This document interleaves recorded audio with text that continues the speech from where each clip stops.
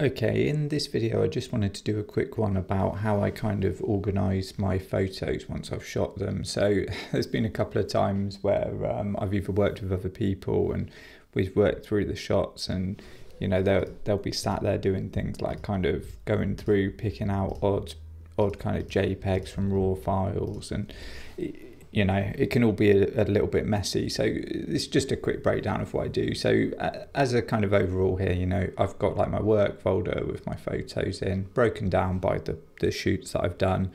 Obviously, that's fairly standard. There's nothing special there. And then what I'll do is I'll grab everything off my camera. So if you watch this channel, you know I'm using the Lumix GH6. Um, I'll shoot everything in RAW I've done a video on why I do that, but um, I've got everything in RAW and I'll also shoot everything in JPEG. So first thing I'll do, I'll quickly go through and I'll just skip through them in preview, just jumping past the um, past the RAWs, and then you know I'll, I'll, go through and I'll I'll just delete any shots that I just don't think are worth keeping. You know there are some in there that are debatable, they're not quite sharp enough, but there's a sort of a degree of sharpness that I'll kind of allow, and you know some of these cars I only caught once, so um, you know there, there's certain criteria that I'd have for kind of keeping a photo or not. But essentially, I'd go through, delete the JPEG and RAW files to the ones that I don't want, and then the next step, rather than having to do that whole process of like clicking on off for these, you know I've got 628 files in here. They're just a lot of burst shots. So what I'll do is I'll just come up to view. Um, it's probably worth uh, mentioning this is on a Mac, but you can do similar things on the PC. So um, if you go to sort by, you can actually sort them by kind. And then you can see here we've got the JPEGs at the top and then there's quite a clear break halfway down to the raw files.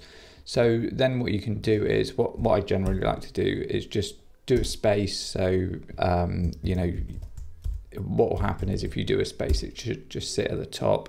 Um, generally in this mode anyway, the folders sit at the top. So, um, you know, you this sort of all hinges around using uh, the window like this, which I like to do. You know, you might have it in, um, you might switch into kind of the tiled view, um, which doesn't really help because I'm in the JPEG folder there. But if you switch into the tiled view, you know, you might like to sort through your images um, with thumbnails like this, maybe bigger thumbnails. But um, what I like to do is switch into this this view here. So it's um, if you hit Command and three, it will put you into that view. Command and two is just the the singular kind of list.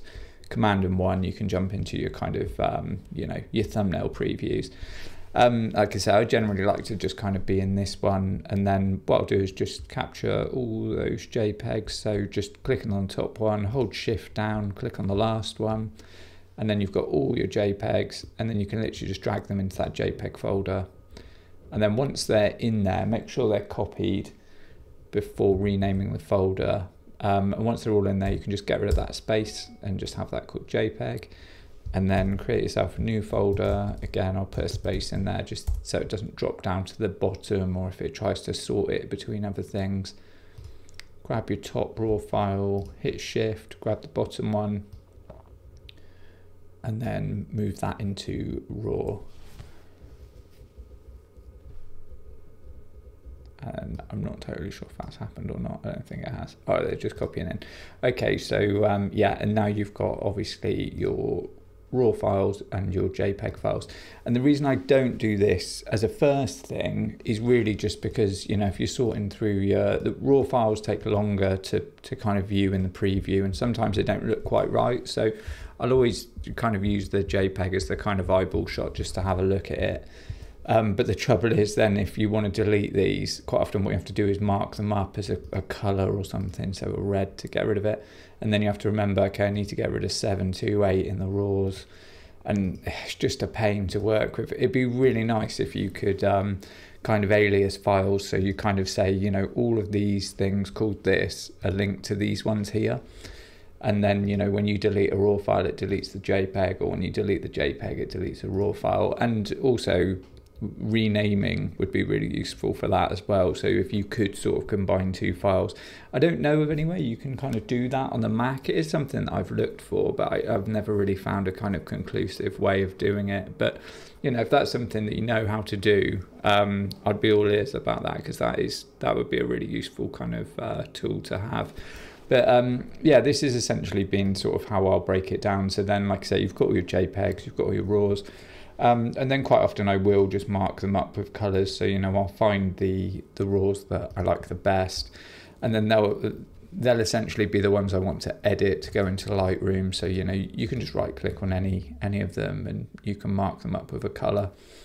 Um, or on the um, uh, on Windows, I don't use it that that much, but I believe you can mark it with a rating on there. So you know you could potentially mark them up with star ratings, and you'd be able to filter them and organize them by that, so they could go into your um, photo editing software from there. So it, it's just kind of simple workflow stuff, but you know even just that sort by kind, it just it saves you so much time. And then once you're back out of that, you can just go view, and then you can change it back to whatever you have it as, last created, name whatever it is, and then it's just back to how it should be. And you can see it, it sorts both of these folders as well because they're kind of internal folders to it. So they're all sorted by name still. So um, yeah, it, it's really just a bit of a kind of hopefully something that will will save you a little bit of time when you're kind of importing your pictures and and cycling through them. But um, yeah, I'd be interested to know, you know, what other people out there are doing and how you kind of handle sort of post photography workflow. It's not always so bad as this for me because I'm not always shooting hundreds and hundreds of photos, but in these kind of instances where I've got a lot to sort of sift through and delete and you know it can just be very sort of time consuming and it's a shame to let something kind of tedious ruin you know the photo process because sometimes you know I know a lot of people that just shoot lots of photos and then they just end up sitting in folders because they just don't want to sort through them and you know that's obviously a real shame because there's probably a few gems of photos in here and you know I'm not saying there's any great ones in here but it's um, yeah, it's nice to kind of look through them, and then you know you can pick out the pick out the best ones. I'll probably just be going with a handful of shots from this, but I need to sort through all of them to kind of find those good shots. And I know ideally, you know, you'd be handling a lot of this whilst you're shooting, so you know taking shots, checking them on the back of the camera. The, trouble is just sometimes when you're bursting a lot of shots and you, you need to really check in the focus, it's quite difficult to kind of punch in. I mean, A, to punch in and B, to sort of have the time to do it. So this is really more in those situations where you can't kind of do it whilst you're shooting.